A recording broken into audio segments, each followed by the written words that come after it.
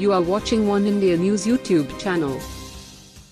A massive fire swept through a four-star hotel in the southern port city of Karachi. At least 11 people, including three women, were killed and 30 others injured in the fire, according to police officers. More than 50 people suffered injuries in the early morning blaze, which started in the hotel kitchen. Pakistan cricketer Sohaib Maqsood was present in the hotel at the time of the incident. Another cricketer Yasin Murtaza jumped from the second floor to the ground and fractured his ankle, while Karamat Ali was injured by broken glass. According to sources, the rescue operation has not ended, and some people are still reportedly trapped inside the hotel. The cause of fire is yet to be ascertained. That's all in this news.